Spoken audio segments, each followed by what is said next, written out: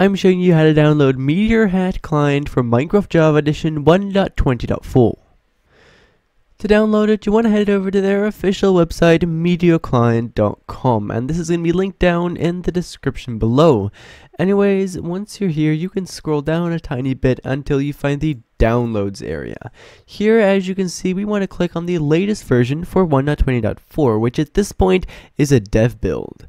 If there is if there's also a release over here that says 1.20.4, which right now is not the case, but if it is for you in the future, then, well, I recommend you download that, seeing as dev, dev builds can occasionally be a little buggy.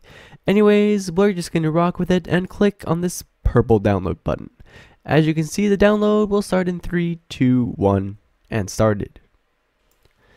So now as you can see in my downloads, I have the Meteor client.jar for the version I want. Great. Now before we continue, I'd like to say that if you appreciate me showing this to you, then I'd greatly appreciate it if you could subscribe. And that you need to make sure that you have the fabric loader for 1.20.4 in this case, because that's the version we're installing Meteor for, installed on your device, because you actually need that to be able to run Meteor. Anyways, as you see, I have it right here. And I have a tutorial on how to install it, which will be linked down in the description if you want to. And if you want to, and for the people of you who want it, I actually have a tutorial on how to install it down in the description. Anyways, what you want to do now is press on Windows and R at the same time. And then in this little box that pops up, type in a percentage sign, app, data, and then another percentage sign. Then hit enter or click on OK. And this folder or this folder here is going to open up. Either way, you want to make sure that you're inside of roaming over here. Then somewhere near the top, you should see .minecraft, go into there, and then find a mods folder. If you don't have a mods folder here, then I actually also have tutorial on how to fix that down in the description. Anyways, I just have some things here which are for an older Minecraft version, so those are going to bug my game if I actually keep them in there, so I'm going to remove those. And right here we have the Meteor client jar, and I'm just going to drag this in there. Perfect. Now that I have the Meteor client.jar in the mods folder, I can close both of these and just open up the Minecraft launcher. In the Minecraft launcher, once again make sure that you have the fabric loader for 1.20.4 selected, and then click on play. Now playing with the fabric launcher, you'll need to understand the risks of playing modded Minecraft, which I'm sure we all do. Minecraft is now opened up, and once it's opened, as you can see, we're using Fabric, which is great, and we can also see this right here, Meteor, as well as Meteor up here too. If you can see those things, it means that everything has gone to plan. Great, now what I'm going to do is just head into a single player world and quickly show you how to use this.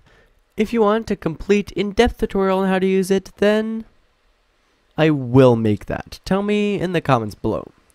Anyways, to open up the main menu for this client, you want to press on the right shift. And as you can see, that is going to open up this big menu over here. And these are basically all the utilities that this client has. So, as you can see in the search bar over here, you can search for anything you want, as you can see. And um, to enable these specific hacks, you can click on them. Just like that, I am now auto jumping. And to disable them, you can click on them once again. You can actually also right click on them as you can see I just did. And here for this auto jump 1, I can activate it through here as well. And I can also configure some things to my liking. First off, I can actually favorite it. And I can just, you know, configure things that have to do with this hack and that's going to be the same for almost each of these. For many of these you can also set a click bind if you want one, uh, a, key bind, sorry, um, and for example for what is this Enderman look, um, I can set the keybind of F, meaning that now every time I want to use the Enderman look utility, I can click on the F key and it'll be either enabled or disabled. Anyways, up in the top over here, you can actually also find a config for this client, as well as configs and customization options, as well as settings for the H for the GUI and HUD. Anyways, that is basically how to use this. Most of these should be pretty self-explanatory, and otherwise you can actually right-click on them as I did say, and that will also give you a brief description of what the utility does.